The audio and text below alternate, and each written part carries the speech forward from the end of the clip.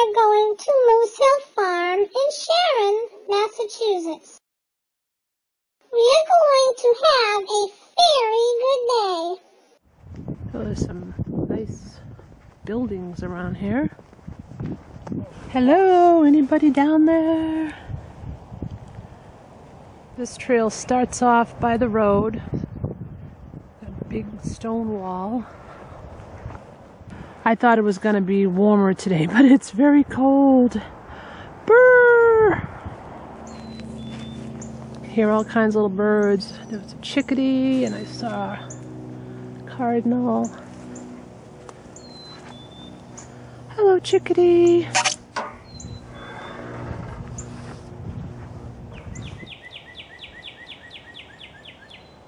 That's the cardinal, so beautiful.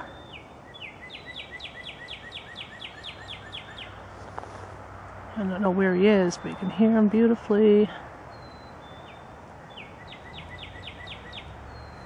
My favorite bird. Well, the sun feels good, even though there's a nip to the air. We're heading, just about ready to head back into the woodlands again, so it'll be cooler. There's princess pine everywhere. So pretty. Wow, you can really hear the highway from here. So this is an old cellar hole.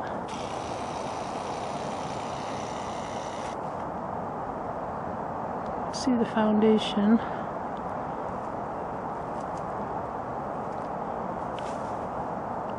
Well, I imagine it must get wet here at certain times.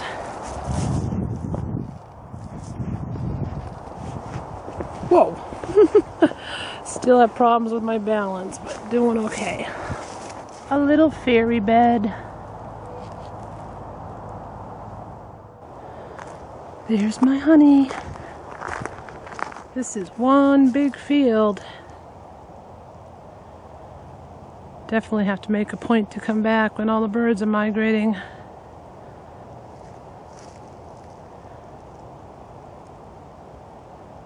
Way out there is Blue Hills. It's a little hazy, so I can't get it in too good, but that's another really great place to go for a walk. Well, now that we've been walking around for a while, I'm definitely warming up. This is a really nice place. I'm glad we came here. Well, you can see Boston out in the distance, but once again, it's very hazy out there. That's the Prudential and the John Hancock. Well, I definitely like this place. We will come back for sure.